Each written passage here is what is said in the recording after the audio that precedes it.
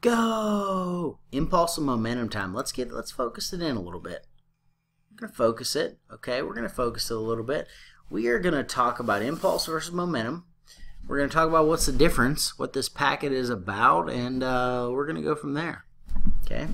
So here we go. Let's jump to the vocab page because with this one, there's only two vocabulary words.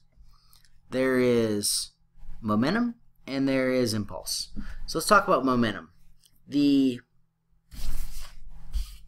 the letter for momentum is not M because we know that's mass. The letter is actually a P, and I've pre-drawn some of this stuff, right? So our letter for momentum is P. Let's light it up. Let us light. There we go. Hopefully that's not too bright. There we go.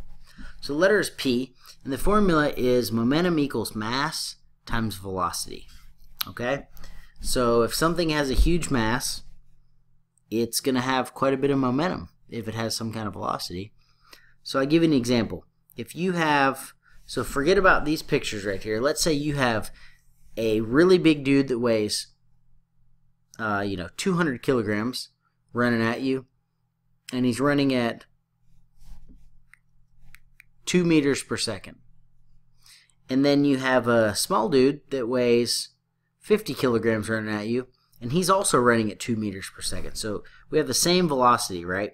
Just drastically different masses. Without knowing physics at all, you can probably be like, well, I don't want to get hit by the big dude because he he has more momentum. He's going to smash me, right? And that makes sense because if you increase that mass, you're going to increase that momentum.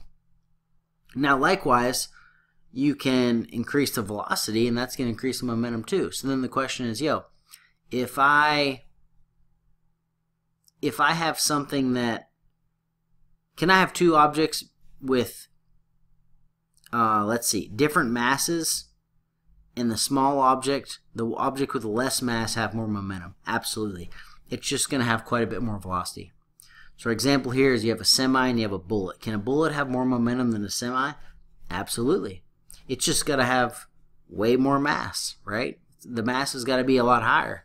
If the semi is moving slow and it weighs, you know, a crap ton, and the bullet's moving really, really fast, and although it probably weighs like a gram, it's going to have more momentum, right? All right, so let's talk about impulse. Impulse is this thing on the bottom. I got nothing, no more pictures there, but there it is. So impulse, refocus time. Impulse is, the formula is force times a change in time. So a given force times a change in time, right? So pretty simple stuff, pretty easy. That's what this unit's about.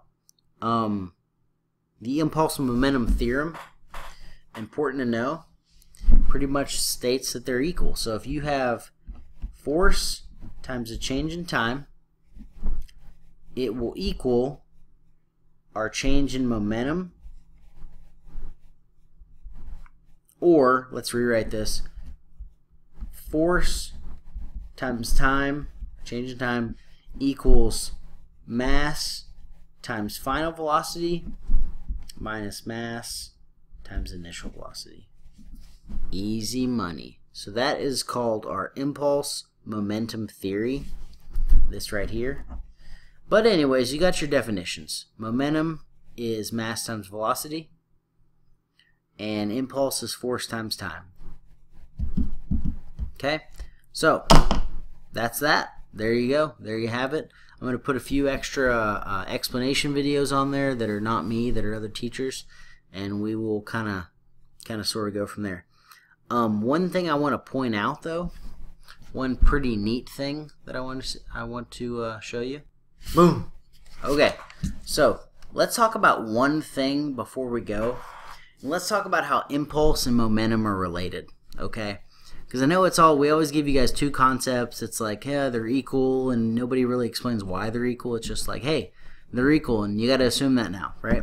So let's talk about why they are related to one another. One another, and it kind of goes back to Newton's second law. Newton's second law is, if you remember, force equals mass times acceleration, right? So, force equals mass times acceleration. Let's think about this for a second, okay? What's acceleration? Well, acceleration is just the change in velocity over time, right? So really we can rewrite this formula as force equals mass times the change in velocity over time. Now, it's hopefully it's starting to look familiar. So now, what if we want to get rid of this time on the bottom? Well, we know you multiply by time. Bam, gone, which means you multiply by time. So now you have force times time equals change equals mass times the change in velocity. And if we bring back our initial paper, isn't that pretty much the exact same? Force times the change in time equals mass times the velocity, right? And this is just the change in velocity. Mass times the final velocity minus mass times initial velocity. That's the same thing, change in velocity. Do I have another one? No, I don't. That's the only one I got. So yeah, that's it, right? So that's why they're related. It's our original force equals mass times acceleration. We got time out, we put it over here, and that's it. It all makes sense. It's all clear now, right? So keep that in mind when you're doing this, and it's like, well, why is impulse momentum related? Well, now you know, right? Now you know. So it's not that hard of a unit. It'll be super easy. I'll try to do uh, several of them to help you guys out, and let's have an awesome unit.